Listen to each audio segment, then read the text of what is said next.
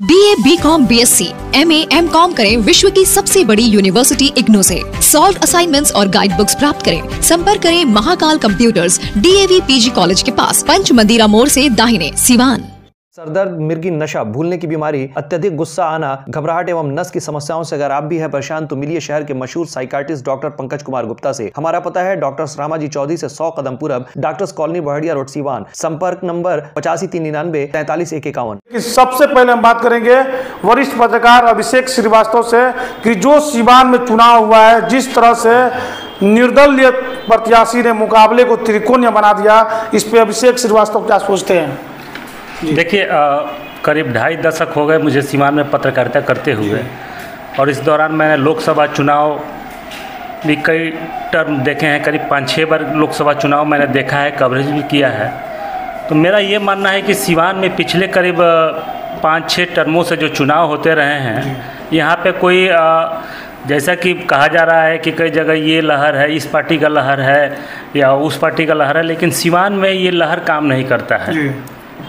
मैंने ये देखा है कि सिवान में पिछले पाँच टर्म से मैंने ये महसूस किया है देखा है कि यहाँ सिवान एक ही मुद्दे पर लड़ा जाता है वो है शहाबुद्दीन वर्सेज एंटी शहाबुद्दीन हालाँकि अब मोहम्मद शहाबुद्दीन हम लोग के बीच नहीं रहे हैं।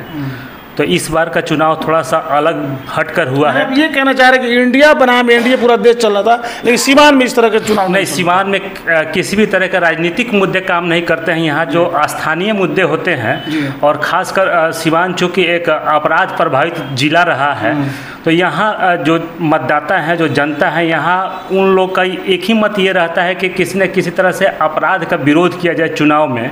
और पिछले जो भी चुनाव हुए हैं उसमें यही देखने को मिला है कि जनता चाहती है कि हम एक साफ़ और स्वच्छ छवि वाले व्यक्ति को नेता को चुने और ऐसा ही होता रहा है।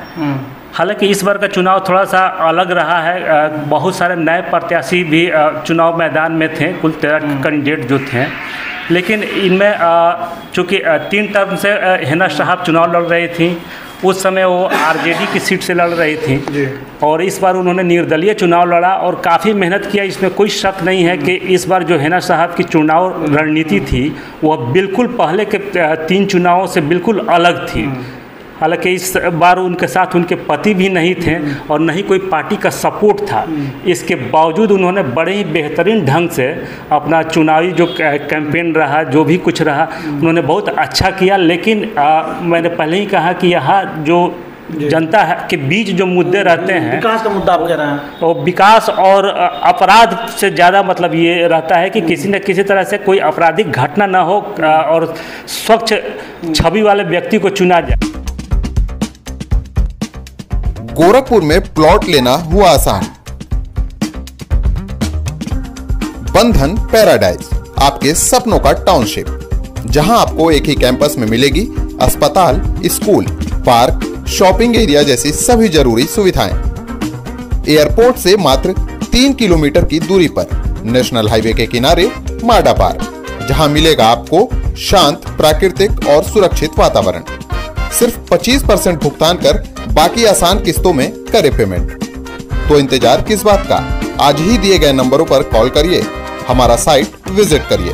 हमारा पता है बुद्ध विहार पार्टे, निकट जीडी ऑफ़िस तारामंडल, गोरखपुर।